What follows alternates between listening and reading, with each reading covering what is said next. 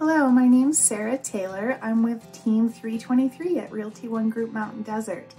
I'm here today to begin my series, The ABCs of Real Estate.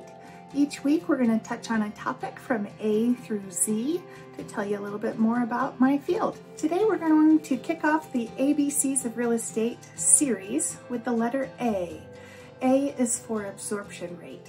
Has anyone ever asked you what the market's like? Is it a buyer's market? Is it a seller's market? Well, there's a statistic that, that can help you dial that in. A balanced market is about a six month supply.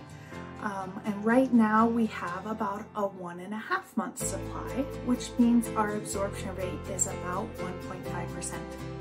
To break that down, that means that with the current number of buyers and the current number of homes on the market, if no other homes enter the market and no other buyers show up, it would take us about one and a half months to run out of inventory. If you have any questions, you're welcome to reach out to me directly at 928-607-3015, or you can contact me through the team at the information given on this YouTube page.